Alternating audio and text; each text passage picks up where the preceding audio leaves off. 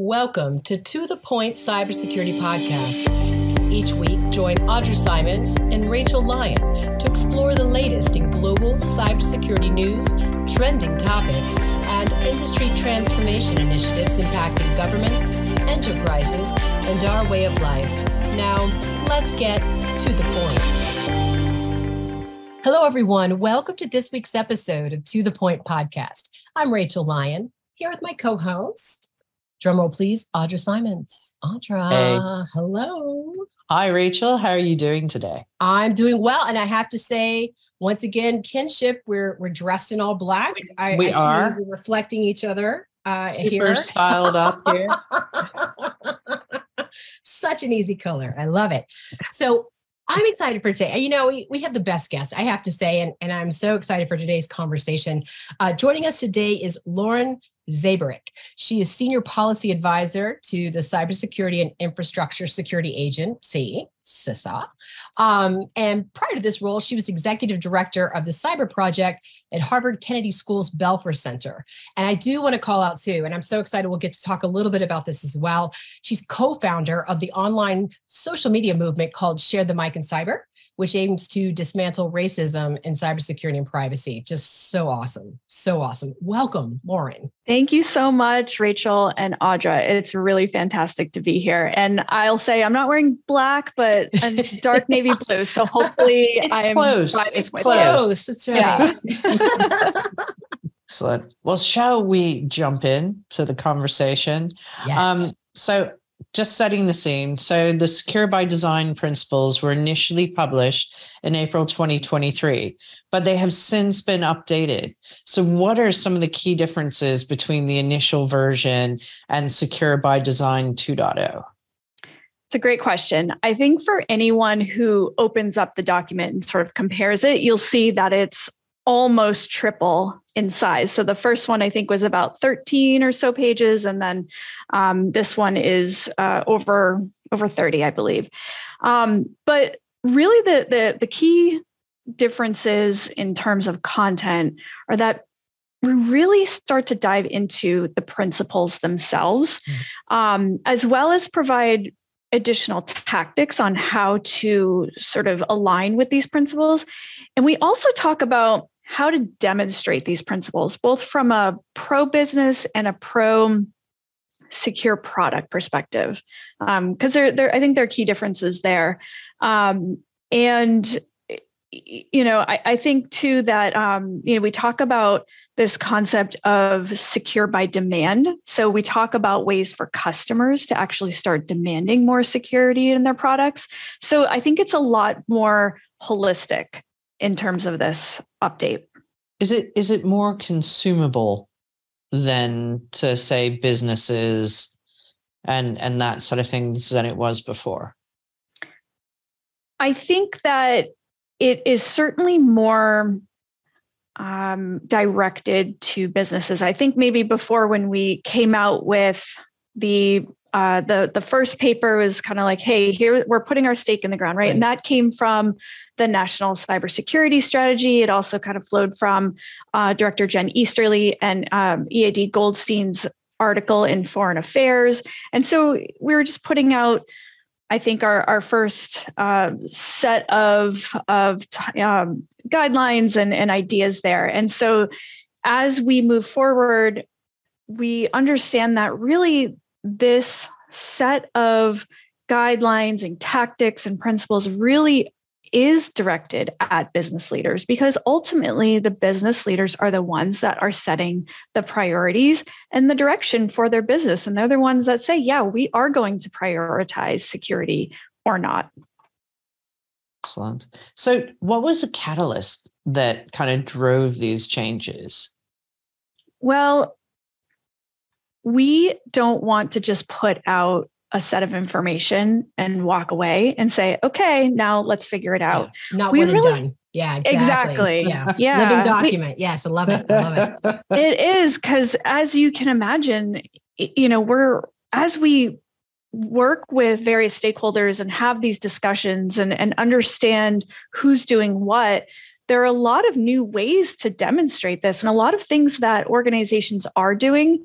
Um, my colleague Bob Lord quotes this all the time. He says, the future is already here. It's just unevenly distributed. I can't remember who originally says that. so please forgive me. But mm-hmm. you know, my point in saying that is to to say that there are organizations out there who are trying to prioritize this and and um, making sure that their practices um, you know do result in secure products but we don't really know about all that yet. Right. and so you know we want to keep iterating on this document as our understanding continues to evolve as well. So what's what's going to be driving those businesses to adopt the policies yeah, it's a that's a great question. Um, ultimately, um, you know, we really do hope that businesses do recognize that it is the quote unquote right thing to do. Although I, I certainly understand that um, that incentives, right, are are also really important here for businesses to um, you know to take in and and try to make changes because one of the biggest questions that we've been asked is okay, we get it. We understand why this needs to happen, but who's going to pay for it? Mm, right? Exactly. Yeah. Good question. Yes. Exactly. And and what should be free and what you know can we charge for and things like that. So there's a lot of discussion here. And so I think as we move forward, the more collaborative approaches that we can take with these various stakeholders and the more momentum that we can really generate among customers and among uh, academia and, and, and think tanks and, and uh, manufacturers, I think more and more this becomes um, you know, the sort of norm building exercise, right? And so we can really move together along this road. I love how many um, different groups you're involving in this process. I think I was reading in version one, there were 10 US and international partners. And then in this next iteration, another eight countries and international organizations came online and and all the summits that you're having and all the great feedback you're getting. And one of the favorite uh, i think things i heard jen, jen easterly say i think it was at the singapore cyber week conference is that feedback you're getting around the three principles is that uh, quote unquote people are picking up what we're putting down, which I love that. It's like my favorite quote She's ever. so cool. absolutely. But it's wonderful because it's this is no small feat, like we were talking about um, earlier, but you need it also requires a, a village, a global village of feedback, right? If if we're really going to stand this thing up and get it right. Yeah. Absolutely. Exactly. Have have you been doing any kind of crystal crystal ball gazing in terms of because you said it's an iterative process. Have have you got some sort of longer view in terms of what you think the next areas will be focused on, how all this collaboration is going to come together, what that's going to kind of deliver towards the future? Well, I wish I were a uh, fortune teller. I wish I were clairvoyant. um, you know, but I do see a lot of excitement around this, and I think that really is evidenced by, um, you know, the the additional international co-sealers and you know those you know a lot of those countries wanting to have conversations about this. And then of course you know all the different speaking engagements we do people really want to hear about it. And also when we try to have these more informal conversations with various stakeholders and industry you know people are quite open to it. So i think it's really incumbent upon us to harness this excitement and this momentum and keep moving it forward right? Identifying um, you know not only challenges but opportunities and identifying ways for people and organizations to come together and share information and best practices and you know make it easier right to do the right thing so um, you know and and we're you know all trying to understand the various policy or economic levers that um, you know need to be identified um, so i think going forward, a lot of collaboration um, and a lot of movement towards this because there really is a lot of excitement here. What I love too of this whole thing is um, you know, when you talk about unevenly distributed, right? And and I believe you guys had a summit, you know, focusing on ed tech, which as we know, I mean, it's there's not a lot of budget there, and they're they're kind of doing the best with what they have. And so um, I think it was called, you know, kind of how do you democratize these well-lit paths from these larger software companies and then, you know, kind of create a playbook that like a smaller software company could execute against. I mean, and that that's that seems like how you get it done, right? I mean, we're empowering all boats rise. And I just think that's that's truly awesome.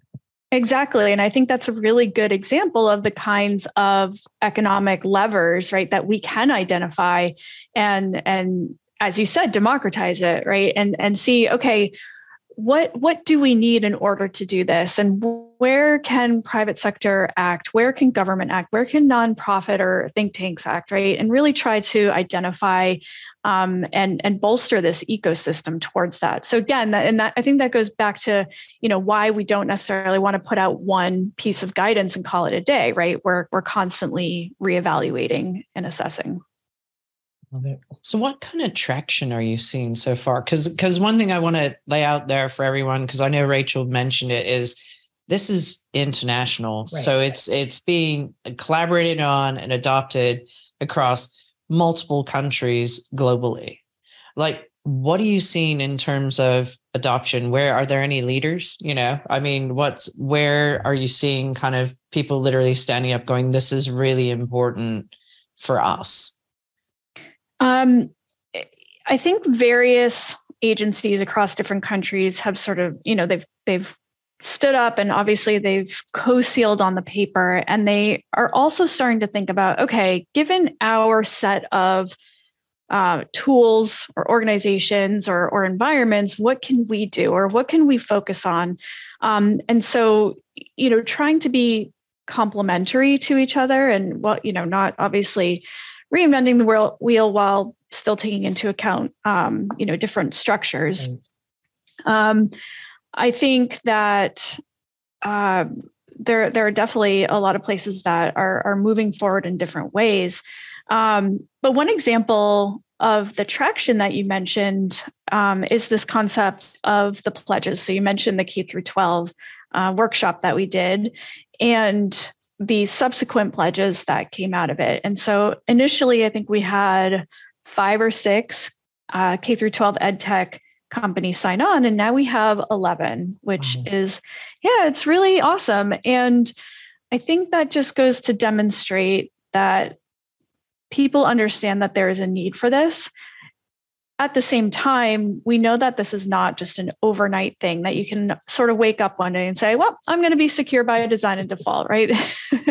and, and that's why when we look at the paper, there's so many different tactics and also ways to demonstrate this principle. We, we thought, you know, there's no way we can possibly cover everything, you know, at this point, but there are going to be ways or, or areas where we can shine a light on different organizations to to sort of um, highlight that. Um, and so, yeah, I think there are, you know, when we're trying to build towards this in, in other areas as well. But part of that too is again creating the community, you know, and the and identifying the ecosystem of players to collaborate with each other um, and to to share with each other really. And I and speaking of the international partners, I mean, I'm I'm looking at this list and I mean, I'm kind of surprised on, you know, some of the, you know, the international partners on the list. It's um I mean, it, you know, they're Five Eyes nations, sure, but you know, uh, like Korea Internet and Security Agency, right? Japan's National Center of Incident Readiness, uh, Japan Computer Emergency Response Team, uh, Czech Republic's National Cyber and Information Security Agency. I mean, this is awesome to see kind of this international collaboration, cooperation um, on such an important. I mean, let's be honest. I mean, we got to get here. We got to figure this out. Um, exactly, because we're we're never going to get ahead otherwise. this is true. Yeah, and and the more that we can, um, you know, adopt this and push this across the globe, then there also, I think, we you know you, you use the term the rising tide lifts all boats. Well if we can have sort of more uniform application right of security right then companies i think have to spend less to sort of meet varying regimes right of of standards or regulations. If there's sort of you know this um, you know uniform idea then i think that is even better for business. Right. So we talked about the positiveness around people kind of like you're getting more and more agencies who are interested more and more teams adopting. Um, are you seeing in other places where you're kind of going out and you would like additional obviously more people to come to the table? Um, have you had any feedback on any kind of i don't know hesitance in adopting the principles I don't necessarily think there's hesitance on sort of why we need to adopt those principles. I really see it more in the how. That's where the debate is, and I think that's a healthy debate. Um, and and I think a lot of different organizations do have differing opinions on this, and that's okay. I think that that debate will allow us eventually to get to further clarity while also bringing in perhaps new ideas like this idea of using well lit paths right mm. um, i you know kelly shortridge um, uses this idea of let's make the secure way the fast way right it should be the fast and the easiest way instead of um, you know maybe other more older practices that just aren't really conducive to user experience and, and sort of human centered design, right? So I think there's a lot more room for these sorts of ideas. So you mean um, like uh, bolt it on after the fact and hope it works? that, yeah. That, Rachel said it. I said it. I said it. yeah. So so a lot of ideas a lot of i think room for debate on on how we get there but i think that's a good thing definitely. Okay. Excellent. Um, so again, we're getting the crystal ball out. Do you think there will be a lot more adoption in terms of agencies globally coming to the table? Is it are are you beginning to kind of see you're getting like a groundswell enough, even yeah, yeah, like it's like enough adoption that more and more people are like what are they doing over there should we be part of that we probably should and are are you seeing that coming yeah, I I I am, and I hope that it becomes more and more. We kind of joke um, on the team, you know, we're we're trying to build sort of a cult, right? So, That's fair. Why not? a cult of security by design, secure yeah. by design. Yes, yes please. exactly, right? so like could we design say t-shirts or stickers or right something yeah. to like help us to um, you know, push the the idea and sort of be like, oh, this is the really cool thing, but also within that have these sort of um, mechanisms to push us forward, push us along here, and actually make something happen. Excellent. No, I think that would be cool. I'd like to have that. Maybe maybe it's something yeah. like you know, like being branded organic kind of yeah. thing, but, yeah. but but you're branded like secure by design. I mean, that's that's kind of cool. well, yeah. I mean, you know, that's that's an interesting sort of yeah, is that an incentive, right? Like, you know, yeah. we we often use the analogy of the automobile industry. I'm sure you may have seen this in some of our um, communications, but you know, looking back towards the 50s and 60s, right, when automobiles were manufactured for speed and style and not necessarily safety, but then a lot of action, you know, analysis by Ralph Nader, congressional action, things like that has led to um, this plummet in deaths and horrific injuries due to accidents as our population has grown. And so, you know, talking or looking to to those kinds of organizations like the Insurance Institute for Highway Safety, for instance, and the they have the stars on cars, and um, you know what sort of testing you know can you do, and and sort of what um, mechanisms can you use in there. They they um, had actually written that when they've applied a five star rating to a car, that actually drove more customer traffic to that particular car. So exactly. I think yeah, mm-hmm. I, I think that there's something there. I just don't know exactly what that looks like yet. Yeah, because there has been, you know, little discussion here and there, right? About is there a security rating or a grade? uh, when you buy, let's say, consumer software or or something like that? How secure is it? Um, that would be interesting to to get to, but again, you know, like the automobile industry, that takes takes a lot of time and a lot of a lot of people coming together, right? To exactly. Yeah. But but on that too, there's an interesting convergence there between the automobiles, right, and that industry and software, because yes. Oh, you know when oh, you add yes. it to like the things, Absolutely. right? So I'm yeah. really interested to see what happens when we start to combine those sort of regulated industries and software. Could be interesting. No, absolutely. Yes. Absolutely. So, can we talk a bit about shifting the security responsibility? Because I think this is a really mm-hmm. interesting direction that things are going, where putting that responsibility into business so it is your responsibility right. that your product has has removed all the like issues with vulnerabilities and things like that. So, so a major goal um, of the updated security by design principles is to place more emphasis on the role of the international software manufacturers and increasing the safety of their products. So, what sort of changes should technology manufacturers expect to make to align to the secure by design? Well, as I mentioned in the paper, we dive more deeply into those principles and we also offer various tactics as well as ways to demonstrate those principles. So, for instance, if we look at the principle of, uh, or the first principle where we talk about taking ownership for security, um, that principle essentially says that the responsibility of security should not fall solely on the customer. Mm-hmm. So, what does that look like in practice? Some examples that we've provided are things like conducting field tests, right? When you, you know, can you test out your product in a way that um, not only does it work or, or say what it's going to do, but also is it easy for a customer to use it and use it in a safe setting?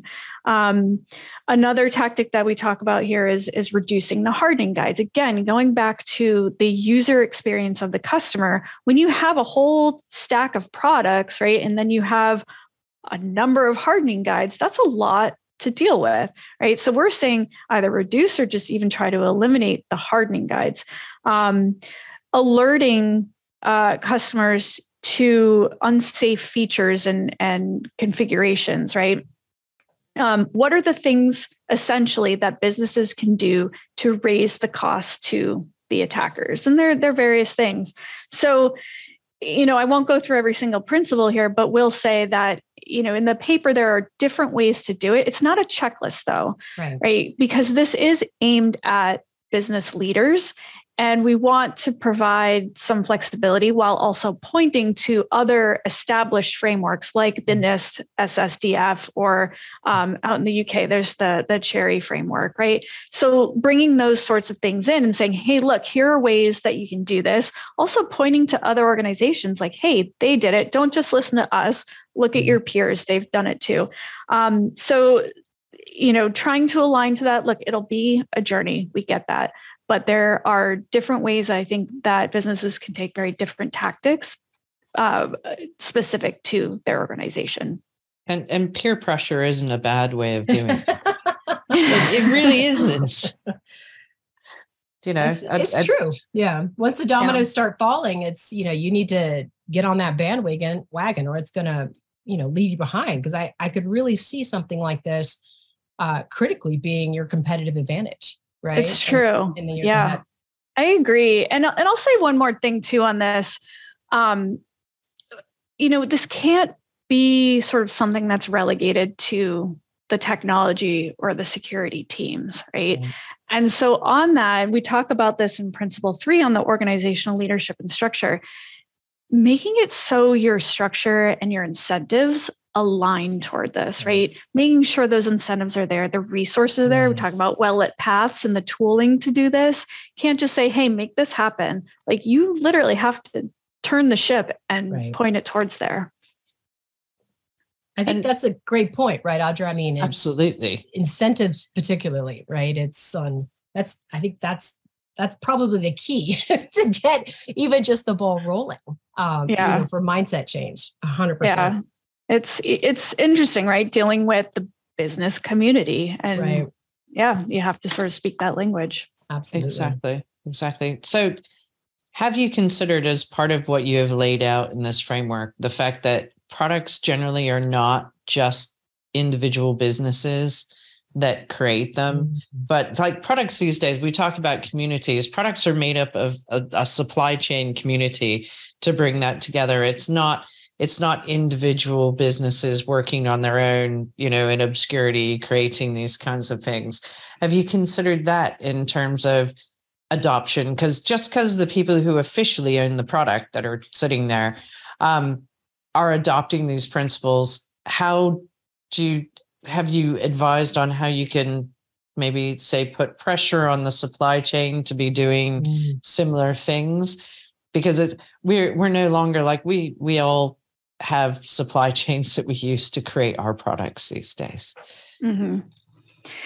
yeah i i i definitely can appreciate that and i know that um, products are essentially part of larger systems and then within those products you have smaller systems and you're you know all the components and organizations that you're having to to pull from i think part of that is generating that demand signal right? You businesses have to hear the demand signal not only from their customers and of course you know what we're doing in government um, but then they have to kind of sort of turn around and, and signal to their particular vendors that hey we expect these products to be or the components right to be more secure. Um, that might also take or require particular action. Mm-hmm. um, we haven't necessarily addressed, I think, um, specifically, you know, things like um, chips and, and things like that. I think that's, you know, that'll come. But certainly, you're right. It, it is part of a larger system that um, it can't, it's not just software, right? It's hardware, exactly. It's all the different components. And so, um, you know, I, I hope we'll start to address more and more of that. I hope too that the, uh, the demand signal will sort of cascade from all the different changes that are being made. That would be great. You know, I, I keep kind of suggesting to people when they come on, Lauren, I'm like, you know, it's so hard what we're trying to do. I mean, do we just roll it back make everything manual? Let's just take everything offline. Let's simplify um, things. You can't hack stuff. It's exactly. either on or off. If you it's know? on or off, not connected. you know I, and i'm i'm not getting a lot of positive feedback when i when i make these suggestions so i think it's we've come know, too far that's that's what i keep hearing but but it's wonderful i mean right it, and everything's an evolution um you know and and security i mean even though it's been around a really long time um, you know the pace of business and everything is changing so quickly particularly out of covid right and digital transformation um, yeah. And it's really, really exciting to to see these kind of movements get stood up because they have to happen. They have to happen because going back is not an option, right? Right, right. Yeah, and and I, you know, some of the the pushback or maybe just feedback, you know, we've we received is like, well, you know, to your point, it is so hard. How do we do this? And my response to that is, yes, it is. I hear you. Yeah. But just because it's hard doesn't mean we shouldn't do something right? Exactly. Or even if the thing that we start with is very small, that's still something that we could do that I think exactly. will Im- impact the rest of the ecosystem. So we, we got to start somewhere, right? Agreed. Yeah, I love that. There was um there's this fellow that started a company called Not Impossible Labs and and basically it's it's not impossible. We just haven't done it yet, right? Yes. And just put one foot in front of the other. And I, and love, that. love that. Yeah and don't don't boil the ocean start one piece at a time and because mm-hmm. because things are hard because we didn't have the foresight when we were creating the solutions that we were building as to what environment they were going to be in or what challenges we were going to face or how clever hackers had become or would become and you mm-hmm. know there's right. a lot when you build that you you can't see we all need the crystal balls. I'm going to be sending those around for christmas presents. I love it. I'm going to put it on my shelf. I can't wait. Awesome. That's fantastic. Excellent. So could we talk about something a little bit different that is yes. reasonably like very close to my heart? Um, yeah. you're co-founder of hashtags share the mic in cybersecurity you tell us how that came about and what you're all about and how can people get involved? Yeah, absolutely. I'm really excited that you asked about this. So, Share the Mic in Cyber is an online social media movement, or at least that's how it started. Um, it it really started in let's say May June of 2020. Now, if you recall back to that horrible time, yes. um, lockdown, you know, lockdown. but you know that made us, I think, more observant witnesses to the racial injustice that was happening in our country, and um, I, I often tell this story with a little bit of humor because I remember being very pregnant, sitting on the couch, right, and just scrolling through Instagram. Um, in a in sort of a rare moment of respite from because I you know, I have a, another child too. um, I was looking at Instagram and I saw this campaign called Share the Mic Now, and that was with entertainers and politicians. And so um, white women were sharing their platforms with Black women. And I just had this idea. I was like, you know, I, I think this could really work in national security, cybersecurity. And I remember sort of messaging a friend and, and she was like, yeah, that'd be really interesting. And then I saw a tweet because, you know, when you're on one social media platform, then you go to another, right? um, I saw a tweet by this woman whom I had never heard of, I had never met before. Her name is Camille Stewart Gloster, now Gloster, she's married.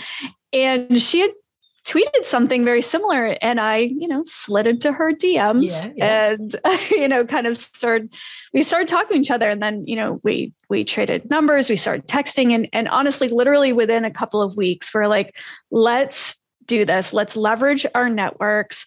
I was at the Belfer Center at Harvard Kennedy School at the time, and, and I had, I knew I had a platform. I knew I had to do something. And so we did it. We just, we kind of threw something at the wall and we're like, we'll see what happens. And the outpouring of mm-hmm. support and the reactions from the community like really blew us away. And so it was very clear that we had to continue to do it. Um, we utilized what was then Twitter and LinkedIn at the time. And then so we decided to keep going. Although in October I was on maternity leave, so another woman, Caitlin Ringrose, she stepped in. But since then, we had had we've had five campaigns on social media. They grew in size. I think at one point we had over 100 million Twitter impressions, oh, not wow. clicks, but yeah, impressions. But, yeah, impressive metric. Um, Jen Easterly participated. Rob Joyce, Chris Inglis oh, participated. Um, one time we had um, Congresswoman uh, Lauren Underwood give the opening remarks. A number of different yes. sort of things evolved organically and um, it's just been really amazing. So we still have the community. Um, camille is now the deputy national cyber director for technology and ecosystem security at the um, at the white house. So she obviously has had to step back and obviously in this job you know I, i've sort of stepped back too. So we we've been kind of figuring out all right how can we pivot in a way that still serves the needs of our community but maybe isn't online anymore or takes different formats. So mm. we're we're continuing to think through that. So if people are in, like, well, I haven't really heard from them in a while, we're we're kind of thinking and and evolving.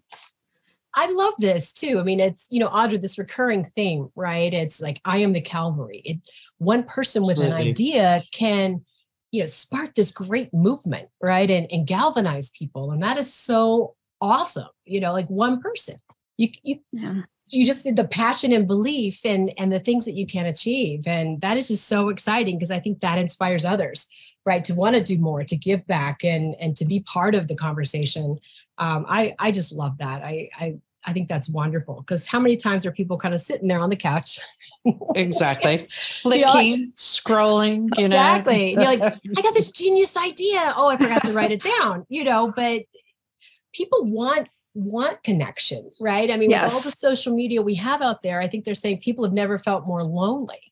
Um, uh, yeah. And these kind of movements are so wonderful because then you are part of a community uh, and you have a voice and and you're doing something to to make good vibrations happen in the universe you know it's we need more good in the world like uh, that's that's for sure absolutely absolutely yeah and and just coming you know camille and i coming together and just you know working off each other's strengths and networks and um, and ideas. It's just it it really was magical. Um, and yeah continues to live on. I, there's a, a, fellowship that we created at the think tank new america and we just have pretty much wrapped up our first year cohort and well, we're going to keep oh, going to that. So yeah fantastic. it's pretty amazing. Yeah. So if people wanted to get involved how can they like approach the community get involved help drive the message it's a great question. Um, you know, as I mentioned, we're we're really trying to figure out how we can evolve the movement. Um, we've we've really sort of focused on continuing to uplift voices, continuing to provide connection, and continuing to provide opportunities. Um, you know, for a, a community that really has been left out of a lot of that. So you know one of the ways that we would love to to sort of more formalize and you know we've done this informally especially when i was um, at the belfer center when one of us or a couple of us would get media requests right? And we're like yeah this isn't really my area of expertise or i want to share it with the community. Be like hey does anyone want to provide a comment that uh, comment on this? And so going out to the media and saying hey we want to be a resource for you. You know if you are looking for more perspectives on these topics, come to us and we'll we'll source your request to the community. Um, same thing with jobs. You know, we're always sharing different job opportunities with each other. Um, so you know we're open i think to more ideas the the problem is kind of bandwidth. We, we're not even a nonprofit. We're just a movement. Um, so I don't necessarily have a you know a structure or a way to pay people. So that's something that we're we're struggling with. But um, on the fellowship side, um, you know the they're always looking for more support, and of course we we just closed our applications for this coming year, but next year the applications will open again. So we're always looking for more people to apply. Um, really strong group of fellows last year, and the candidates this year look really good too. Oh, that's awesome. That's exciting. That's fantastic. I think yeah. about uh, wait, what was I talking about? Was with uh, Andrew Boreen. I was like, I was born too soon. oh, wait, I was born 20, 30 years later. All these amazing things that are available today. And you know, and, and what was the what was the quote though, right? I mean, it's uh, your your your future job as a, as a young person is going to be something that hasn't even been invented yet. Exactly. So how do you get on that. How do you plan for that? How do you get the degree for what doesn't exist right. today? so true. Maybe, you know, per the National Cyber Education and Workforce Strategy, right? We're working on uh, core traits and and skills that are very transferable instead of like you know specially specializing in sort of one area you know um, i don't know i was an economics major i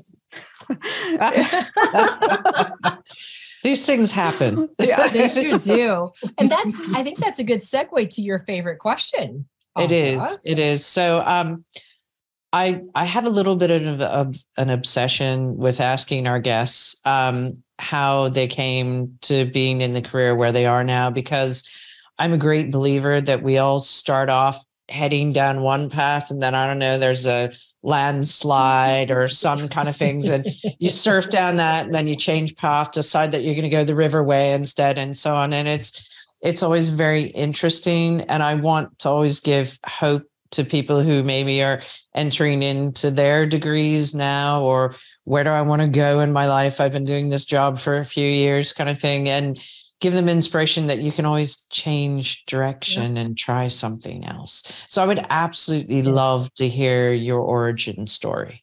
Oh boy. Okay, so it is one of those stories that, you know, has has a bunch of winding roads. Um, I started my career in the military. I was in the Air Force as an intelligence officer and got out after about five years. And I, I briefly went into consulting and I said, I hate this. I want to go back into government. Serving has always been um, important to me. And so that, you know, as, as I think challenging of a situation that was that pushed me towards you know going back into government which um, i really enjoyed I, I, joined one of the civilian intelligence agencies and um, I, I was in sort of a, a we'll just say your average uh, group doing average intelligence. Um, and eventually, you know, a number of, of various issues, but I, my, my husband had supported me essentially through a number of deployments and shift work and things like that. And then he had an opportunity for a dream job up in Boston. Mm. I was like, oh no. Like so I essentially had to give all of that up. And and I, I tell that initial story because I was so ingrained in that community. It was so important to me. It was yes. my identity, right? Mm. And then I had to leave it to come to Boston. And so like, hard. What yes. am I gonna do? Who am I? And so I happened to join Recorded Future as the 56th person. This company is now over a thousand people. But I, I'm so grateful to Christopher Ahlberg and Scott Donnelly, who had hired me and gave me that chance. They thought, mm. oh, you've never done cyber before. You'll learn. It's fine. and they That's believed awesome. in me. And it's true. Yeah. It's true. It's yes. true, right? And and so funny story. I remember being, I was hired as a solutions engineer and I was like, I don't know anything I'm doing. I was in a meeting. Somebody asked me about APT 29 and I'm panicking. I'm like, oh my God. but that experience really drove me to say, you know, you need to make sure that you know everything yeah. possible. Right. And then, of course, that experience overall really led me to this idea that I feel like we can do this better as a country. Mm-hmm. So, again, as challenging as that was, right? Leaving DC, leaving that mission, leaving all of my mm-hmm. friends behind to come to Boston in the winter, by the way, to a, start- to a startup that opened up that whole new path for me. And mm-hmm. so, at the time, also, I had applied to the Kennedy School, never thinking I would get in, but I got in. Wow. And I, I was so thrilled about it, but I deferred a year and then um, to help sort of biz- build up the business. And then I started at the Kennedy School with a three month old. Don't wow. recommend doing that. um, and and I tell that part because I I was in this class. It was my um, this teacher Eric Rosenbach, who would become my boss. He taught the class on on cyber, you know, policy and operations and sort of all the things in between. And again, I was a brand new mom. I don't know what I like, I was out of my mind, right? he saw me when I didn't see myself. Oh, and wow. so he asked me what I was going to do after graduation. I said, Well, I don't know. I guess I'll go back to a recorded future. And he said, No, I want you to come here. I want you to apply for this job running the, the cyber project, you know, do some interesting research, you know, cool. build up your profile, build your network, and then, you know, we'll go back to government after that. And I, I just remember being in shock for an entire day. Like, you want me? the guy before me, yes. who's a friend of mine, Michael Sulmeyer, he's a PhD from Oxford. You're like, which who me? but I'm so, so grateful to him, to to the late Ash Carter, to my, you know, former colleague and my just goals person, Juliet Kayyem at the Belfer Center. Um, amazing. I loved it. It was it was just so wonderful. The people there and the things I got to do, and um, but that really set me up to get to to this role. And um, I'm I'm thrilled to be here. It's so much fun. I get to work on really hard problems and talk to people like you. So so yeah, that's that's my origin story. I know it's it's awesome. It's, yeah, that's a brilliant story. Absolutely love it. It really is, and it, it also kind of gets to what what I love about cyber. Uh, you know, we've had people who are like PhD even like medieval studies, you know, who are now yeah. like CISOs. Uh, but you come at it with a different way of problem solving, right? So your background in intelligence, you know, you're applying that kind of through that lens for cyber, yes. and you're going to come up with all these things that other people never would have thought of. Um, and that is just so cool. You know, I don't yeah. know a lot of industries where those kind of transferable skills have such an impact. So it's true. Yeah. and uh, exciting. yeah, to your point, I, I was at an event the other day where the CISO had come from the music industry. And I think it's awesome. You're right. Yes. There's so many skills. And, and that I think too is the argument for diversity, right? When we bring all these perspectives and understanding of various threats that maybe we don't even think about, right? Like that is the beauty of it. That's why we need it. That is why diversity is national security. So much. Yeah. Absolutely.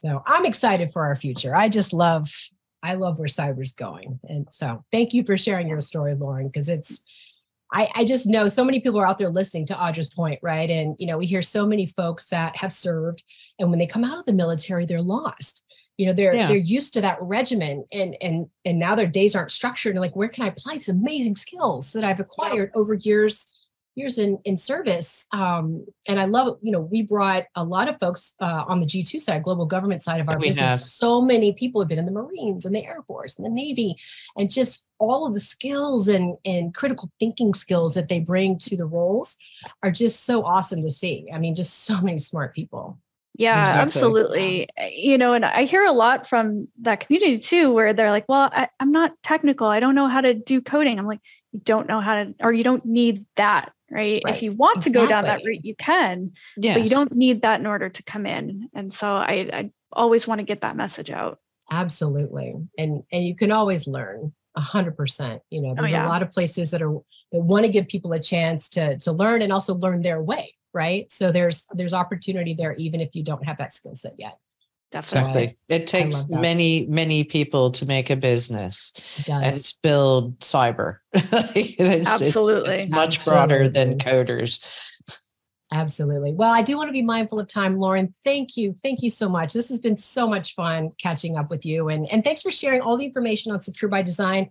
Uh, we can include a link on the CISA.gov website. I believe in the resources section, there's the Secure by Design page yeah. or website. Okay. If you go to CISA.gov slash secure by design, mm-hmm. then you'll see all of our papers and our blogs and videos and things like that. So awesome. yeah, it's a great resource. All right. So to all of our listeners that out there, we'll definitely include that link in the description. And again, thank you so much for joining us this week. And and you know, I just can't say enough, Audra. You got to subscribe so you can get these amazing, amazing episodes delivered right to your email box every Tuesday. I mean, how awesome is that? So smash that subscription button. Uh, and until next time, everybody, be safe. Thanks for joining us for the To The Point Cybersecurity Podcast brought to you by Forcepoint. For more information and show notes from today's episode, please visit forcepoint.com slash gov podcast. And don't forget to subscribe and leave a review on Apple Podcasts, Google Podcasts, Spotify, or Stitcher.